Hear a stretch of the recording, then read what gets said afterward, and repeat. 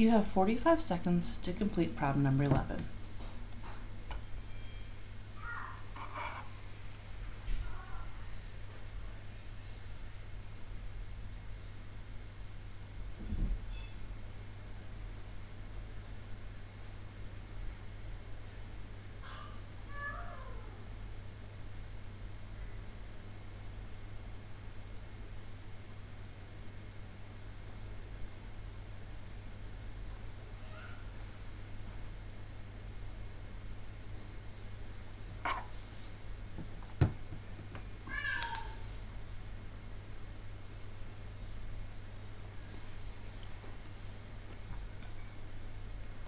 If you obtain an answer of C, please move forward to the next question.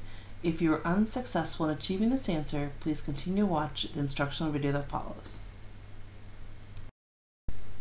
In this problem, we're told DE is parallel to AB, which means angle CDE and angle CAB are equivalent, as well as CED and CBA.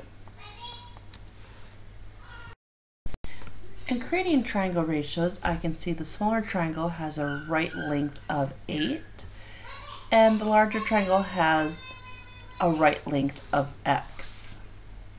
Now, their left lengths, the smaller triangle has a left length of 7, the larger triangle has a left length of 7 plus 3, or 10. I'm going to cross multiply to solve.